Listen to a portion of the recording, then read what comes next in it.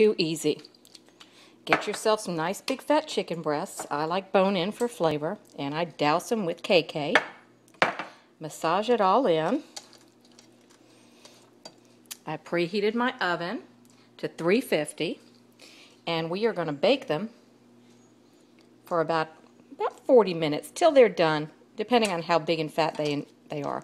They'll be nice and juicy and at the very last couple of minutes I hit broil so that that skin gets crispy for blaze. The flavor's unbelievable. It's amazing what you can do with KK